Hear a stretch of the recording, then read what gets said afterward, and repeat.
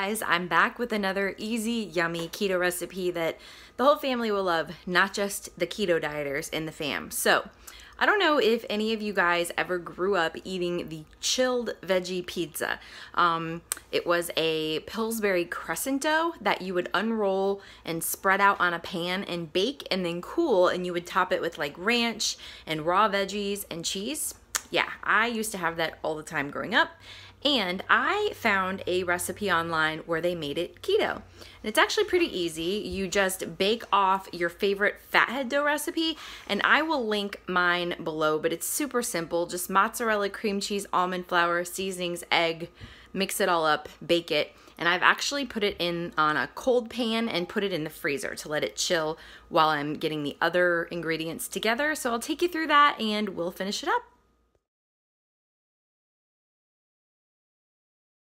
I'm going to have the like base that's going to be the sauce and it is an entire eight ounce block of cream cheese that I softened just by letting it go in the microwave for a few seconds until it got soft but not hot. Um, a half cup of mayo, a half cup of sour cream, and then three tablespoons of this um, Hidden Valley Ranch seasoning, or you can use one of the packets. And you just stir that up really good until it's all mixed. I'm probably gonna take a whisk to it to get out all the lumps. But um, when the pizza crust is cooled, we're gonna spread this on it and top it with some raw veggies. I'm gonna do broccoli, peppers, and some scallions and probably tomatoes and mushrooms too, I think. And then um, some of this, my favorite cheese lately. I have been digging this Sargento aged, 18 month aged cheddar.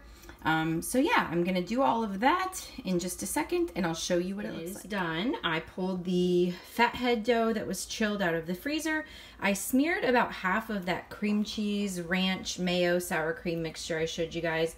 Using the whole thing would have been way too much. So I don't know if the recipe maybe like um, had a thinner, larger crust or whatever. Anyway, I used about half of it. Just spread a nice thin layer on it. Then I did about a half a cup of shredded cheese and then I chopped up the um, mushrooms and broccoli and scallions and tomatoes and orange bell pepper and that is it. So I'm kind of spreading them out to look prettier, but you're gonna pop this back in the fridge for about 30 minutes just to chill a little more and then you can slice it up and eat it. So yeah, that is the chilled keto veggie pizza. I hope you love it. I'm sure I will.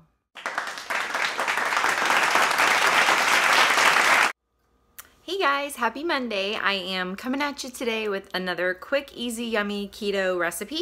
Um, today's recipe is super simple but super yummy and my favorite way ever to eat cabbage. So basically it's going to be some bacon wrapped cabbage wedges that I'm going to wrap in foil, season with a little um, Kerrygold butter, Tony's Cajun seasoning, and throw on the grill until it gets all soft and yummy and it's so good. So here we go. Okay, so this is how I cut the cabbage. I just do it in wedges here. You can do them any size you want, but just know that the thicker you cut them, the longer you'll have to cook them. I'm doing mine on my indoor grill, but you can also just bake these in the oven too. I just like wrap them in foil and line them up in a pan. But I'll show you what it looks like too. But what I'm going to do is put a pat of butter on it, um, which I use this Kerrygold Pure Irish Grass-Fed Butter. And then a sprinkle of this Tony Chachere's. I probably just butchered that, but it is Cajun Creole seasoning. It's amazing. We use it on everything. And then I'll take a piece of bacon and wrap it around, wrap it in foil, and that'll be it. So let's go on to the next. This is what it looks like um, before I wrap up the foil. So there's the wedge. Um, I've wrapped it with bacon, but I seasoned it really good with Tony's. I took a tablespoon of the butter and cut it in half and smeared just kind of pressed it into half on one side, half on the other, seasoned it up really good, wrapped it around with a piece of bacon, doesn't need to be perfect, and then I'm going to wrap up the foil and make a little pouch. And this is what it looks like. Um, nothing fancy, I just took all four corners, gathered it up at the top, and kind of rolled it over and pinched it. So um, I always leave the pinched part on top, that way there'll be no leakage. So I'm just gonna go ahead and bust out all of these others and throw them on the grill. All eight of my cabbage wedges on the grill. This is my trusty little um, copper titanium indoor grill. I love it, love it. Um, so yeah, I'm gonna let this go for probably a whole hour because I want the cabbage to be completely cooked and soft and yummy. Um, and So that'll probably take about an hour, but I will check on it and let you know exactly how long it takes. I'm also gonna cook up some steaks for dinner on this grill, um, but of course after the cabbage is done. So just make sure you give yourself plenty of time with this cabbage. Put it on a good hour before you're gonna eat and you'll be good to go. These beautiful ribeyes. I have just got some barbecue dry rub on them. I just try to choose one that's low in sugar.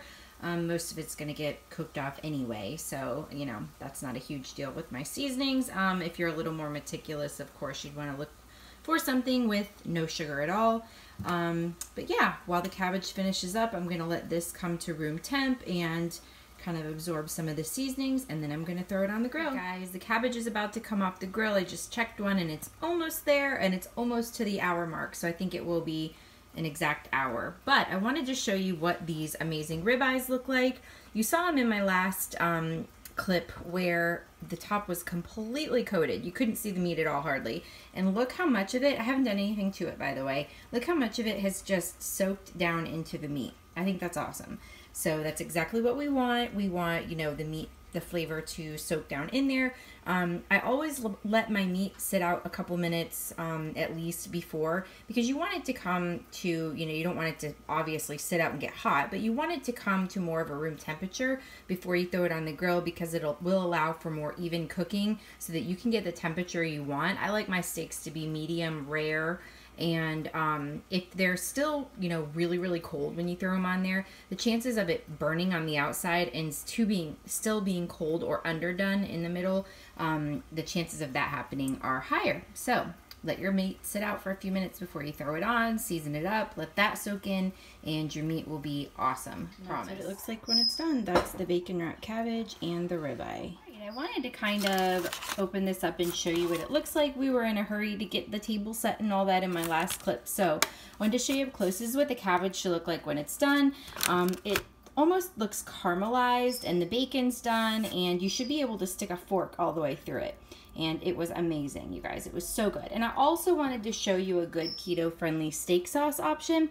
I don't always use steak sauce because I do season my meat really well but if you're looking for a sugar-free steak sauce this is awesome. It's G Hughes they make all kind of stuff. They make honey mustard barbecue ketchup marinades, but this is their steak sauce. I got it off Amazon, but some stores may have it if you find it in your stores. I'm super jealous. I have to order mine but it's really good. Um, it's kind of like a sweet, spicy, you know, typical steak sauce flavors going on. So that was really good. I dipped it in a little of that on the side and that was dinner. So I hope you guys enjoyed this recipe. Definitely try the cabbage. Hey guys, I'm back. I'm doing another quick, easy, yummy keto recipe for you tonight. And I'm pulling out the Instant Pot for some Instant Pot brats. That's a mouthful. Um, I've got two kind. I've got the beer brats and the stadium brats, both by Johnsonville. I'm going to do them in the Instant Pot, um, but first I'm going to put it on the saute function. I'm going to throw a couple tablespoons of butter in there, and I'm going to do some red and white onion and some bell pepper, saute it for a couple minutes. Sorry, that's my washer and my parrot going back and forth in the background. Um, and then I will shut the Instant Pot off, throw in the broths, throw in a little broth, and put the lid on it and pressure cook it for five minutes with the butter and the peppers still in the pot. So let's get to so it. So for your non-keto family members, you can serve this up with some buns or you can just chop it up and eat as is. Or um, I'll probably just have it like as is or alongside a little salad tonight. I am not hungry, like at all. I am sipping on my little fat burning limeade right now um, and I just am not hungry. So I never force myself to eat if I'm not hungry. So um, but if I don't eat I will just pop it in a container and I'll have lunch for tomorrow or whatever. But yeah meal prep. Woo. saute button right there. And then I've got um, four tablespoons of butter since I'm doing two whole packs of brats. And I'm just going to let that melt down.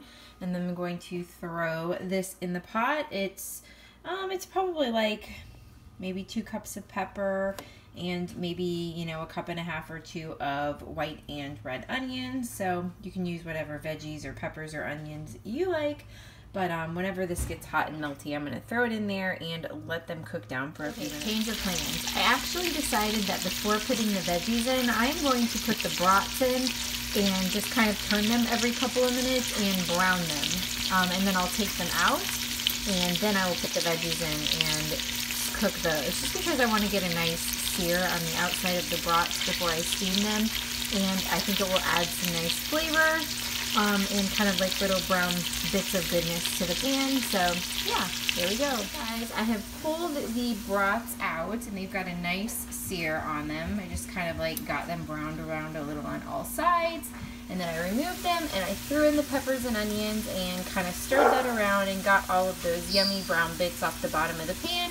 And I'm gonna let those ride out for a few minutes. All right, I'm gonna show you what I did next. So, um, after a few minutes of cooking the peppers, I just hit the cancel button on the Instant Pot so it will say off.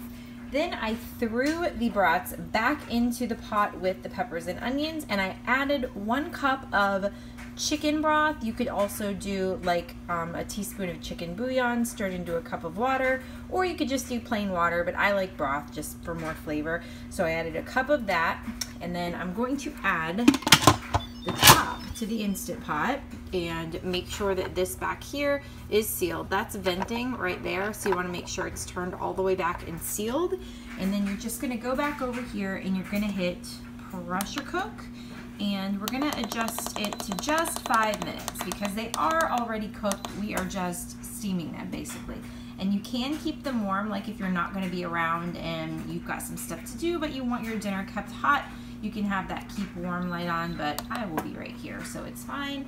Um, and then you just let it go. One thing that confused me about the Instant Pot is there is no start button, um, but you just hit pressure cook and wait, and it'll say on. It's just coming to the right temperature, and it will go back to the time and start counting down from five minutes when it's ready. So now we just up. So it's off now. Um, it's not on keep warm or anything.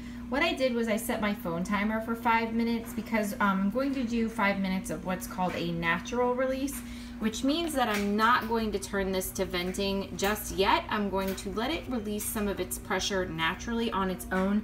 Um, if you let the Instant Pot go long enough, it will release all of the pressure on its own, but um, if you want to just hurry things along, you can just turn that all the way um, counterclockwise to the venting and it will go psh, and it will let all of that steam out of the top. Um, some people say that doing that might take away from some of the moisture. Um, so that is why this um, recipe, I'm going to let it naturally release for, ooh, that's hot, five minutes and then turn it and just re-release um, whatever's left over. So I'll show you what it looks like in five minutes of the pressure out of the Instant Pot. So you just let that go until it's completely done and it's quiet. And then we can open the lid safely and it will be done. To show you, it's all done. So the peppers and onions have cooked down. I've got a slotted spoon to serve it with. Um, the brats are browned on the outside, super moist and yummy. So I will probably, when I get hungry, um, just get a couple of them, slice them up, serve them with some of the peppers and onions on top, and maybe do like a little salad on the side or something. But that is Instant Pot Brats. Super easy and fast.